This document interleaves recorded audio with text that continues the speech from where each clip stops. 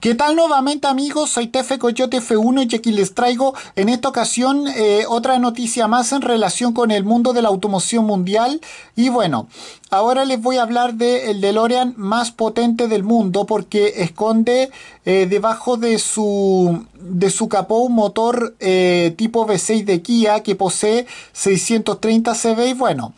Esta preparación localizada en el estado estadounidense California corrige y de qué modo uno de los puntos flacos del DeLorean eh, con el con el con el bloque de un Kia Stinger y bueno, sin más que decir, hablemos un poco de aquello. Bueno, como ya se mostró el, eh, en otra ocasión en recopilación de los automóviles más famosos del cine y la televisión, el DeLorean DMC-12 es uno de esos vehículos que nunca puede faltar en una lista con los automóviles más famosos y especiales del séptimo arte. Incluso fuera del cine, el famoso DeLorean,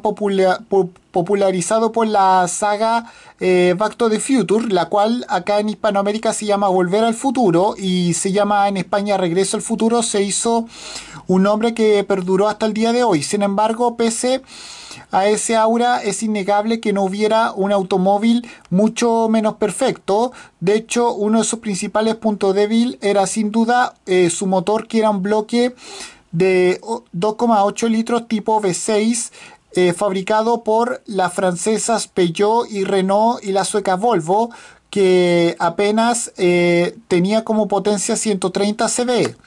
Bueno, como sabemos los dueños y amantes del DeLorean DMC-12 lo sabían y por eso a lo largo del tiempo se conoció una buena cantidad de preparaciones con motores mucho más capaces como los famosos eh, tipo V8 de Chevrolet. Sin embargo, uno de ellos eh, llegó bastante lejos, al menos al nivel de potencia como esta preparación de Otsuka Maxwell Design para Race Performance, Performance eh, ubicada precisamente en la ciudad San Diego en el estadounidense de California que usa un motor eh, biturbo de 3,3 eh, litros tipo V6 del Kia Stinger GT del que consigue sacar más de 600 CV como potencia. Bueno, la elección de este motor tampoco habitual en las preparaciones se debió al buen resultado que daba incluso realizando derrapes porque eh, Nick Reed, el afortunado propietario de este vehículo y de Reed Performance, eh, trasplantó con la ayuda de OMD eh, este nuevo motor a su DeLorean añadiendo toda una serie de piezas y elementos nuevos y fabricados para aquella ocasión. Eh, entre los cuales se encontraba unos intercooler hechos a medidas eh, mucho más atractivos que lo de un modelo F40, nuevo, de, nuevo colector de admisión, nueva configuración eh, del sistema de inyección, nueva transmisión para soportar la, la nueva cifra de potencia, sobre todo dos turbocompresores gemelos marca Garrett. De este modo, el nuevo DeLorean de Reed eh, mostraba en un banco de potencia unos 487 CV la rueda, lo que traducido comparado al motor de eh, lo que traducido al motor comparándolo con un Ferrari 458 daba como resultado una potencia en torno a los